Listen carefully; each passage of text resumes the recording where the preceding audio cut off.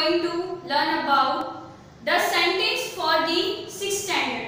आज हम six standard के लिए द सेंटेंस क्या होता है, वो हम देखते हैं। So students look at on the board we will discuss about the sentence आप सभी को पता है सेंटेंस का मतलब क्या होता है। ठीक है? हम हमारे जो पिछले क्लास में थे ओके अभी तो आप सिक्स में आए हो, लेकिन फिफ्थ फोर्थ थर्ड स्टैंडर्ड ये सब में सेंटेंस तो आया ही था। आपको इनका डेफिनेशन भी पता होगा।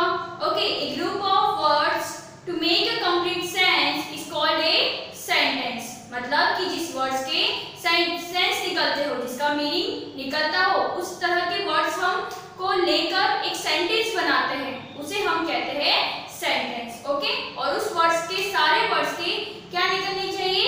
सेंस निकलने चाहिए तो आज हम वही डिस्कस करेंगे फॉर दी सिक्स स्टैंडर्ड आप सभी को बहुत ही ध्यान से सुनना है so let's we start A group of words put together to make a complete sense is called a sentence. इसमें क्या बताया गया है कि जो ग्रुप है, जो वर्ड्स के जो ग्रुप होते हैं, उनका क्या निकलना चाहिए?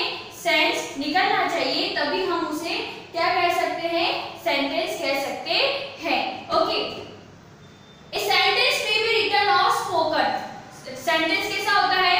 उसे हम लिख भी सकते हैं और बोल भी सकते हैं तो उसे हम कहते हैं sentence okay now sentence always have a subject and a verb आप सभी को पता है कि सेंटेंस में क्या होना चाहिए सब्जेक्ट मतलब हम जिसके बारे में बोल रहे हो वो सब्जेक्ट होता है और वर्ब मतलब उसके बारे में हम क्या बोल रहे हैं वो होता है हमारा वर्ब तो आपको इतना तो समझ में आ गया होगा कि हमारा सेंटेंस क्या होता है ओके तो इस हिसाब से मैंने थोड़े एग्जांपल्स लिखे हैं so students look at on the board ताकि आपको समझ में आ जाएगा that what is a subject and what is a verb subject क्या होता है और वर्ब क्या होता है ओके तो ये सब्जेक्ट है। ओके तो सब्जेक्ट में मतलब क्या आया है? ही तो और वर्ब में आया है इज़ रीडिंग तो ही इज़ रीडिंग तो सब्जेक्ट हमारा क्या हुआ?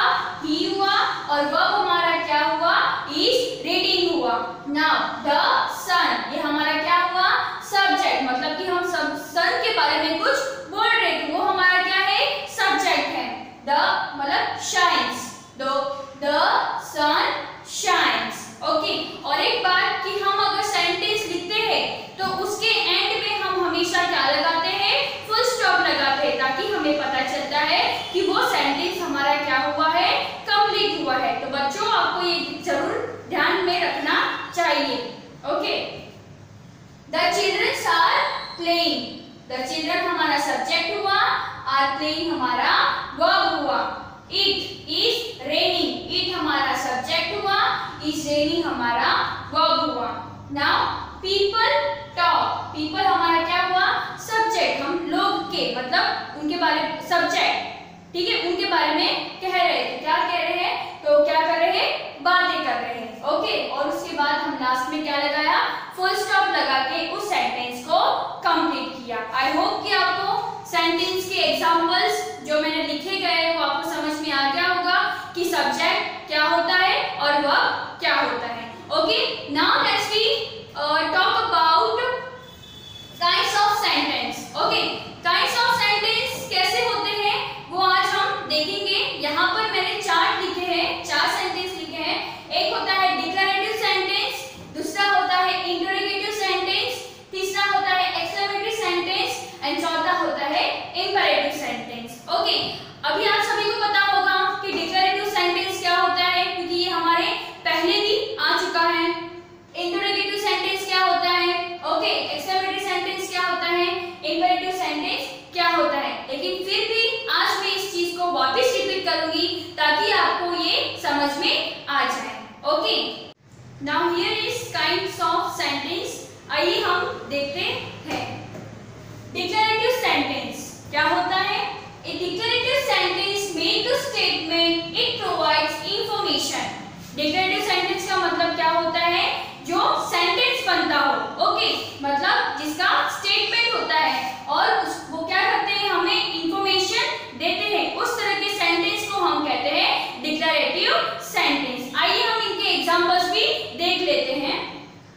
The weather has improved. मतलब क्या बताया गया है कि जो वेदर है, वो क्या हो गया है? इंप्रूव हो गया है। तो ये हमारे लिए एक तरह का क्या हुआ? इंफॉर्मेशन हुआ। तो इसे हम कहते हैं डिक्लेरेटिव सेंटेंस जो एक हमें स्टेटमेंट भी बताया गया है। uh,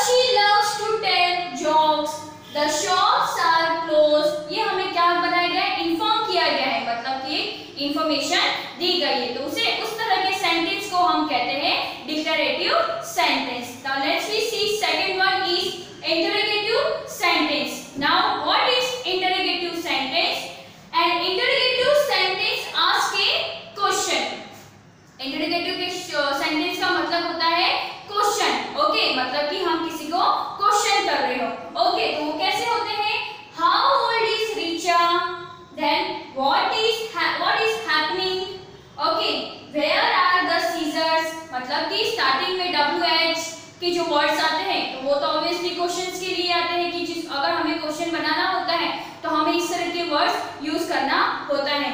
इसके अलावा दूसरे भी होते हैं कि जो वर्ब होते हैं उन वर्ब को हम आगे लेकर okay in the beginning of the sentence okay in uh, or in the end of the uh, sentence we make we take mark हम क्या करते हैं? लास्ट में उसको क्वेश्चन मार्क लगा के उस सेंटेंस को कंप्लीट करते हैं, जिसे हम कहते हैं इंटरेगेटिव सेंटेंस आई होप कि आपको ये दो सेंटेंस समझ में आ गए होंगे declarative sentence and interrogative sentence now let's we see the exclamatory sentence exclamatory sentence तो बच्चों आप सभी को पता होगा कि एक्सक्लेमेटरी सेंटेंस क्या होता है लेकिन फिर भी हम वापस से इस चीज़ को करेंगे An exclamatory sentence makes a very strong called exclamation statement कैसा होता है?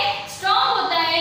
उस सेंटेंस को हम कहते हैं exclamation it shows a strong feeling like being surprise और एंग्री जब आप कभी गुस्से हो जाते हो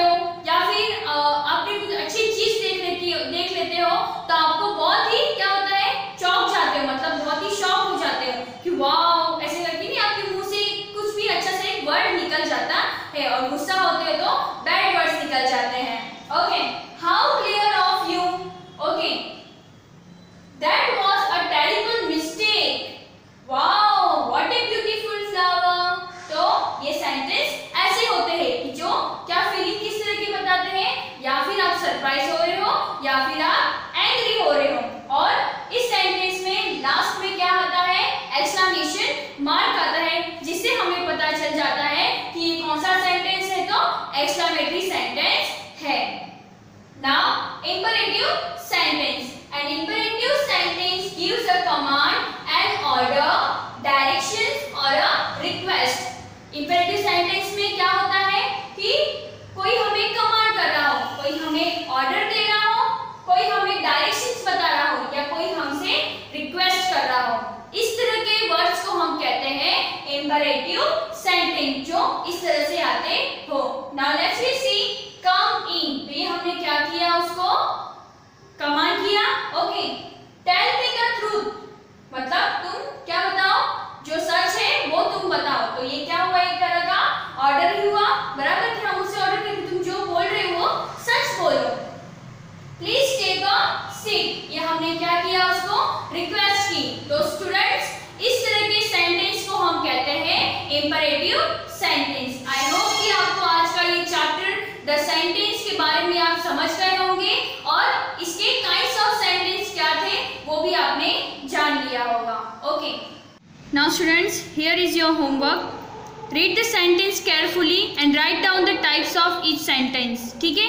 आपको इनके टाइप्स ऑफ़ सेंटेंस मतलब ये सेंटेंस कौन सा है वो आपको बताना है ओके okay, जैसे कि एक्सलामेटरी है तो एक्सलामेटरी का सेंटेंस आएगा इंपरेटिव है तो इंपरेटिव इंटोरेगेटिव है तो इंटोरेगेटिव और डिक्लेरेटिव हो तो declarative okay now write D for declarative I for interrogative E for exclamatory and I M for imperative आपको इनका शॉर्टकट में लिखना है, ठीक है? तो ये सेंटेंस कौन सा है? तो जैसे डिक्लेरेटिव है तो आप डी लिखोगे इंटरोगेटिव है तो ई लिखोगे एक्सामेट्री है आई एम है मतलब इम्परेटिव है तो आई एम लिखोगे ओके तो ये आपका होमवर्क है। Thank you so much for watching my video please subscribe the channel of little master public school